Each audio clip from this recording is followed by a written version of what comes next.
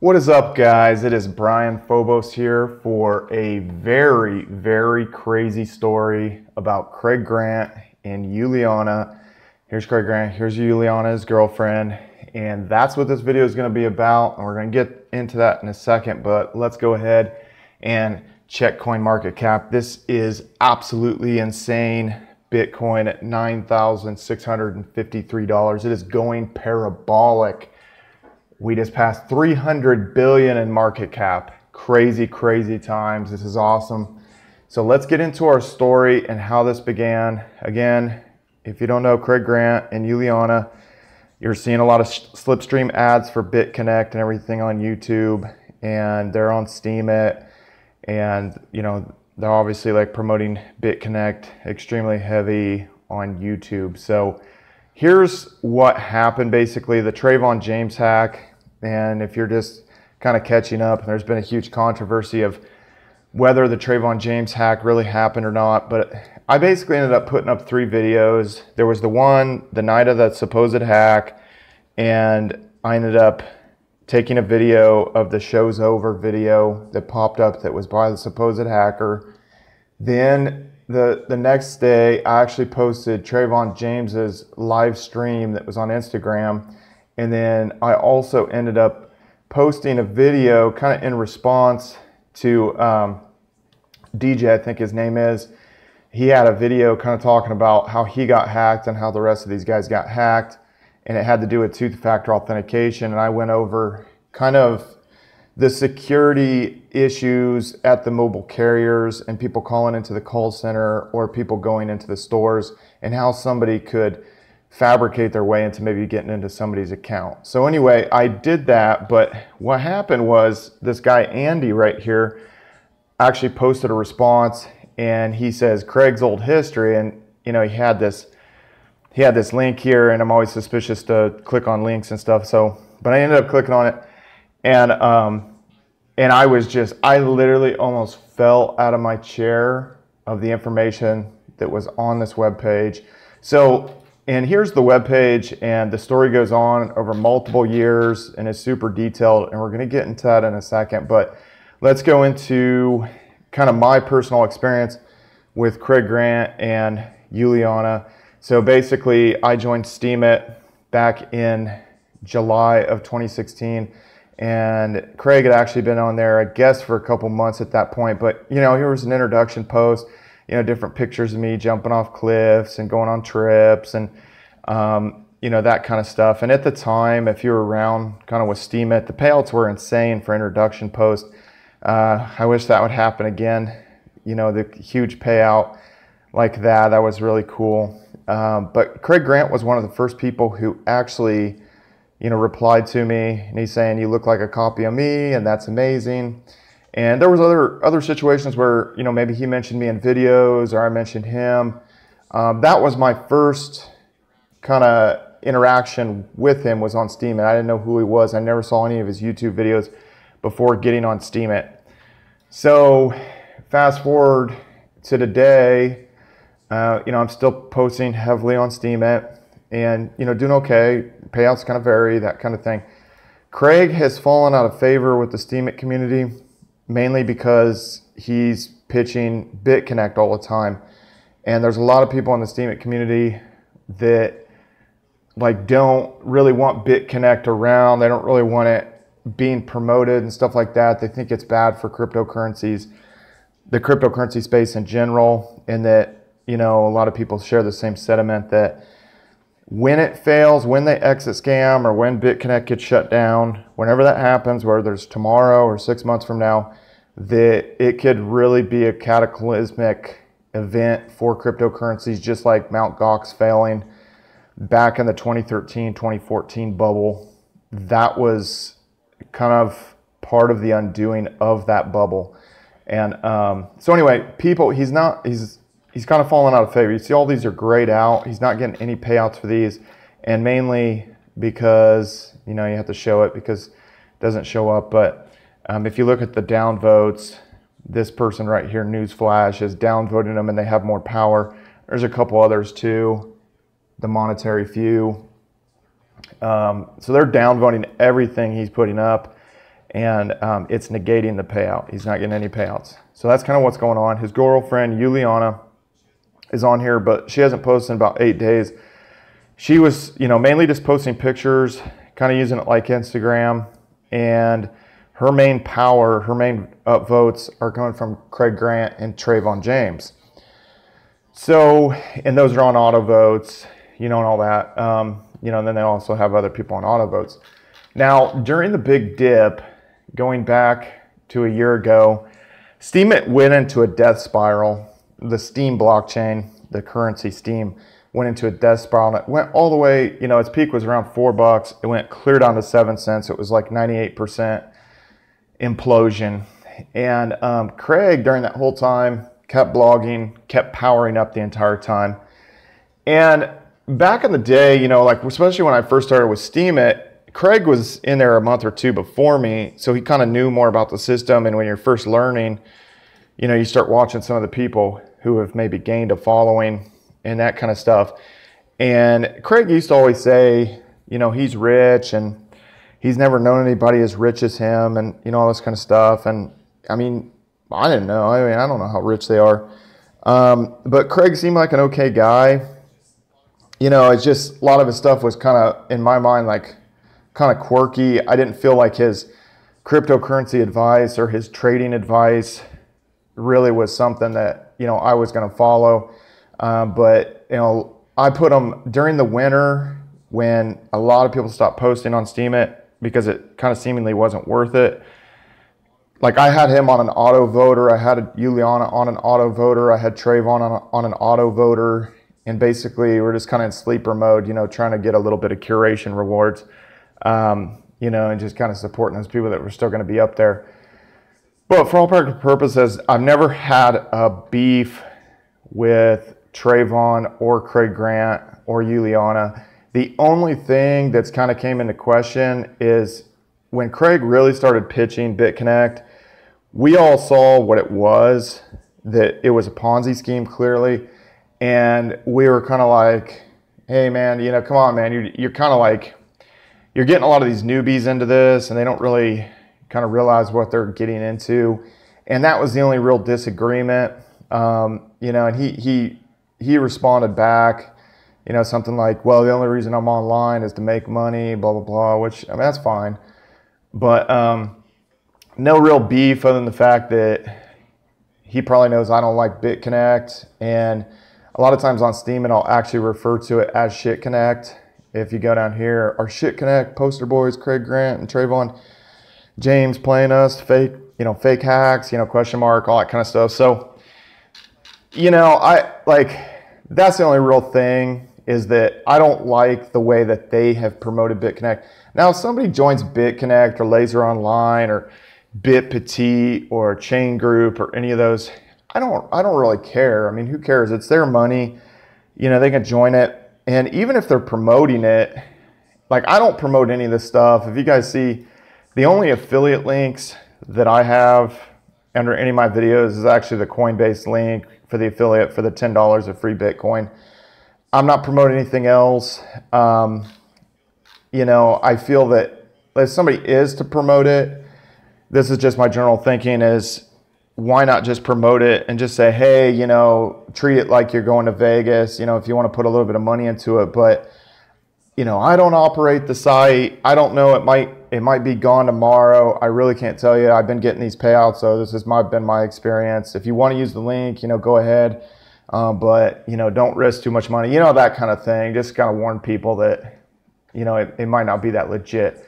So anyway, that's kind of the backstory of my interactions with them um, and over time. But so I, you know, again, I put up this video and Andy, this Andy guy, you know, he put this link here and I went to it and I was just absolutely blown away by this. So this guy, this Davin's Den, this guy has like a podcast and like a radio show and basically part of his comedic act is he tries to like call scammers up and scam the scammers or trick the scammers. So that's part of the one of the things he does. Well, he was on evidently either he was on a dating site or he was purposely getting on there and looking up accounts that he knew were fake to sort of, you know, turn the tables on the scammers. So, you know, he's saying a Ghana, like from Ghana or whatever, scammer approached Davin using her picture. And, um, you know, basically it goes through this whole thing. And, you know, he tried to contact Juliana, you know, about the whole thing. And like he wasn't getting any response. But he's basically, you know, telling her that, hey, I saw the piece. There was a piece on 2020. And, um, you know, he saw that and it was on the internet. And then he wanted to go ahead and try to scam these scammers who were using her pictures. And um, there was, I guess, an original 2020 thing that they aired, and then it ended up getting taken down. But then um, in 2014, they kind of edited, they re-edited the the footage of the whole thing, and um, you can watch that here, and it's like it is crazy. Like this thing, so this guy's dad actually got scammed thought he was talking to Juliana and um, actually ended up sending $50,000 via Western Union over to Africa, you know, that, that these scammers kept requesting. And he ended up, after he was kind of like broke and lonely, he ended up shooting himself. So it was crazy. Like he ended up dying, um, you know, this guy's dad and all that stuff. But if you watch the whole video, it's crazy. And they, they actually had Juliana you know, on here, um, you know, talking and saying like, oh, you know, she didn't know, and um, it's crazy that people are using her picture, you know, and all that. So. Money as a part-time internet model. She created a website featuring sexy videos and. So anyway, like you can go into that. I don't, you know, the fact that she's, you know, she was modeling or doing, you know, bathing suit pictures or nude pictures. Like I, I don't care about that. That's you know, that's that's fine. I mean, obviously that's her, you know, up to her discretion and stuff like that. So anyway, the story continues, and um, you know, and he gives all these dates, like in you know, in 2012 and all that kind of stuff. But this guy had a suspicion that Juliana and Craig Grant were actually involved in this, and that it wasn't just some isolated case of some like catfish scammers over in Africa using somebody else's pictures to scam people that they actually thought to make it more believable that Craig and Juliana were actually taking more personalized photos, sending it over to the scammers who were then communicating with all these, you know, lonely guys who, you know, were having this kind of internet relationship and sending this money over to Africa. Um, so anyway, this goes back and forth, and he kept trying to contact Juliana. A lot of times, like there would be no response, or there'd be like, kind of generic responses. And then, you know, his kind of suspicion kept growing that they were involved. And here's where it gets crazy, guys. Um, so he had screenshotted, he had been following Craig Grant and Juliana for a long time, and he was screenshotting some of the stuff. So this was Craig Grant's, this was from Craig Grant's Facebook page, supposedly March 22nd of 2013. So anyway, click into this, and I don't know if you guys can see that, especially if you're on mobile. So over here at the left, it says, I moved to the USA from Jamaica in 2009 with no internet business and $30,000 in savings. We purchased a house for 30,000 cash, no mortgage. Started a bounce house business by purchasing two bounce houses for 30 for 3,000 and he says internet money. From 2009 to 2010, I built up our online magic money thanks to Nigerian scammers in Juliana. That's kind of weird to say that. It says, with internet money, we purchased three more bounce houses. Now the bounce house business is booming and internet money flows and grows with the help of the bounce house business money. But anyway, going back from, you know, thanks to Nigerian scammers and Juliana. That's really weird. Okay, so anyway, Davin was saying that his suspicions were confirmed because of this admission from Craig Grant and then he actually contacted the FBI and then he never got a response. The FBI never followed up. So then, June 27th of 2013, Craig Grant gives another public admission on his Facebook page with even more detail. So you click on this one, and basically says, This is my best estimate of income in my life for the past month. Uh, okay, so then there's like $1,200 from MCA, which is Motor Club of America. I, I didn't really look into it in depth, but it, it seems like some kind of multi-level marketing company.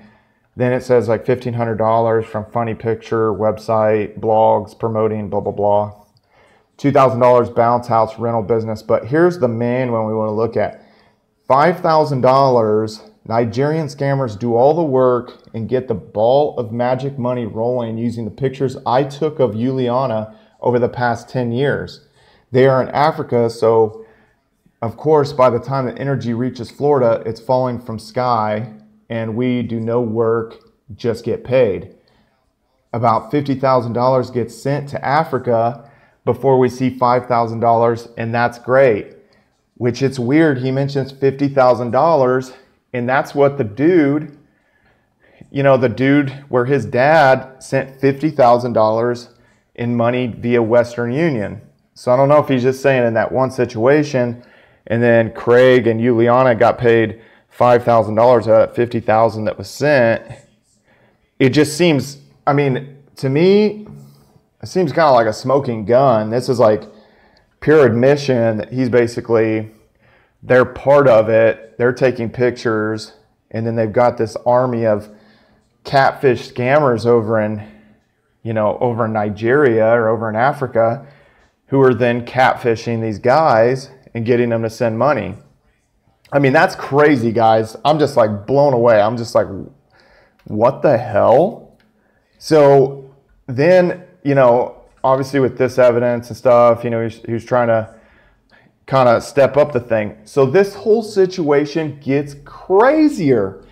So Juliana ends up suing Match.com for $1.5 billion, saying that basically her, her images kept showing up there and these, you know, catfish guys um, were using her images and stuff like that. And Match.com wasn't doing enough to, to get this stuff down and, and all that kind of stuff. So 1.5 billion and just I think because of the amount that she was suing for, it kind of went viral in all these newspapers.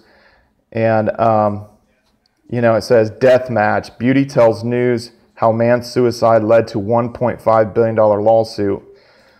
But the crazy thing is, it's almost like based on this stuff that, you know, Craig's admitting, it almost seems like Juliana and Craig were actually involved in the whole scam, taking these pictures, and then like kind of creating the whole thing and kind of, um, you know, getting these scammers going over there with those pictures, and then she turns around and tries to place blame on Match.com and sues them for 1.5 billion.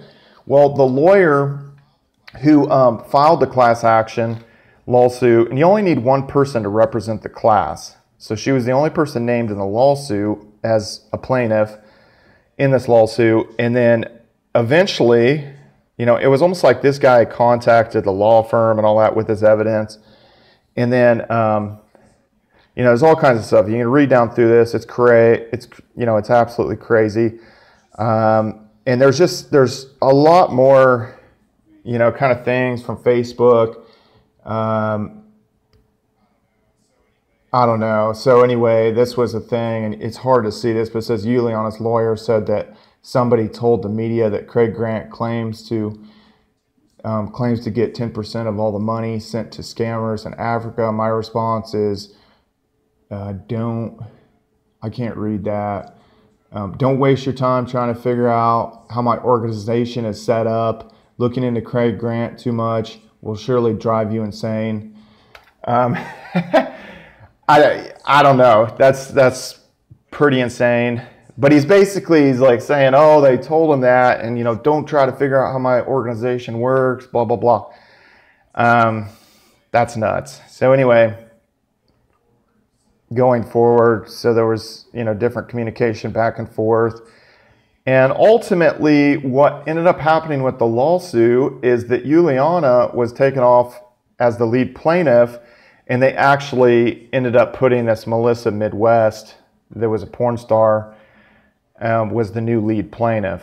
Then suddenly, because I think that there was enough evidence out there that linked Juliana and Craig to the scammers that all you know they would end up not getting a payout and let's just be honest 95% of these lawyers out there, they're just looking for somebody to sue or they're just looking at, you know, they're just getting, they're looking to get big payouts, um, you know, and so they're just looking for somebody to name on a law, to, to place on the lawsuit, you know, that kind of stuff. So anyway, they got somebody else and then they dropped Juliana off as the lead plaintiff. Um, so anyway, it goes further into a bunch of stuff, which you guys can read. It's kind of crazy, but then um, this Davin guy, he starts really kind of connecting the dots, and basically Craig and Juliana were friends on Facebook with a bunch of these Nigerian scammers, like all these African scammers, and he's got all these pictures of, you know, they're different different friends and kind of like these people that sort of were known scammers. Um, you know, and they're kind of posting all this money. There's like a baby covered in like all this money. Uh, but anyway, he's got a ton of, you know, ton of ton of evidence here, and this and that. Um, so anyway, and this goes in. You can look at the lawsuit that Juliana actually filed against Match.com. You can look into that. I mean, I'm not gonna really read into it and stuff. Um, at this point. But anyway, then, you know, again, they've got more evidence, more evidence, more evidence. Um, just tying all these people kind of together with these African scammers, which is insane. Um, and then it, it, it goes on. It gets pretty in depth. And then there's some kind of like there's some kind of private videos that Juliana sent that she's sucking on a dildo here. It's actually pretty hot. You guys can check that out in your personal time. And um, just other stuff here that's that's crazy. You know, if you keep kind of reading down through it.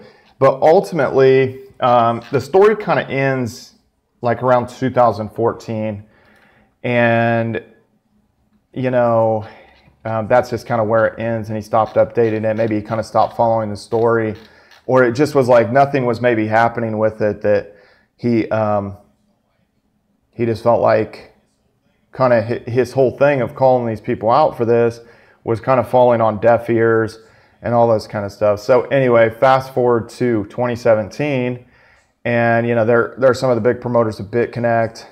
And i'm not trying to say like oh don't get involved in bitconnect because these two are scammers. I just think it's, I just think the story is like pretty insane. And you know, you always get this bad feeling. I think a lot of the people that were in the crypto space prior to this surge, there was always kind of this thing of like, why did you know why did Craig and guys like Trevon James get so big on YouTube? Why are those kind of the, the face and the name sort of behind cryptocurrency and why are the noobs kind of following following those guys because they're not they're not technical.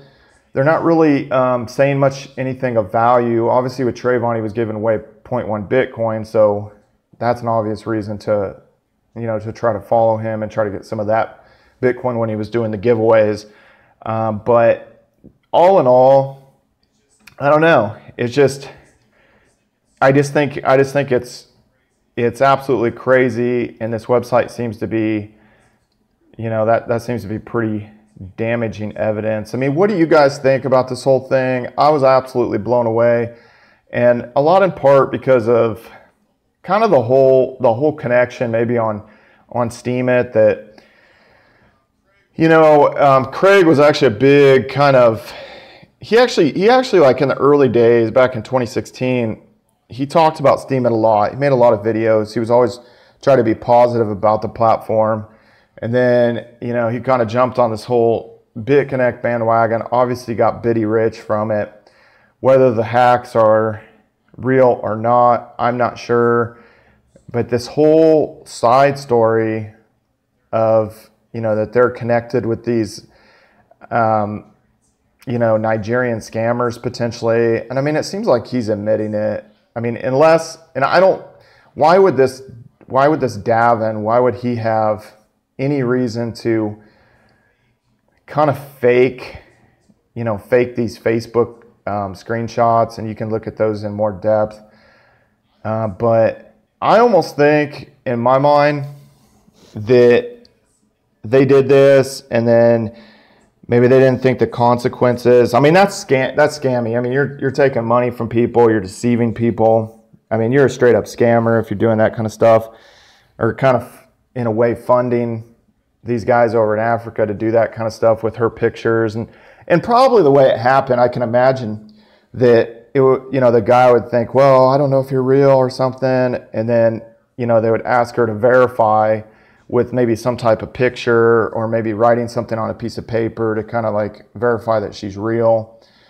And, um, you know, and then it, it, probably made it convincing like, oh, wow, she is really real. And then it, it kind of fed into these guys' fantasy. And then the one dude ended up killing himself, which is, you know, an insane outcome, it seems like, clearly. And, um, but I don't know. I don't know why Craig, you know, is, is sort of admitting to the stuff he seems, and it, it kind of goes along with the whole thing of really putting himself out there with the Bit, BitConnect stuff and having all that money in those Exodus wallets and kind of keep showing it off. It's almost like, I don't know. I don't know. And to tell you truth, I don't know what should happen to these guys. Really, when it boils down to it, I just want to tell you guys about this crazy story. Uh, but I'm going to put the link, I'm going to pin that as the first comment on the video that I upload here. So you guys can check that out. Check the whole story, check into the you know, check into the screenshots, see what you guys think about the whole situation. But yeah, that's pretty much it for today. I think I'm gonna make another video talking about the Bitcoin run up and kind of what I see for the future and some kind of things to look out for. So um, anyway, have a great day and follow me on all social media. I'm at Brian Phobos on Steemit, on um, you know Twitter, on Instagram, on YouTube. I'm at Brian Phobos on everything. So please subscribe, follow me on everything, and you guys have a great night. See ya.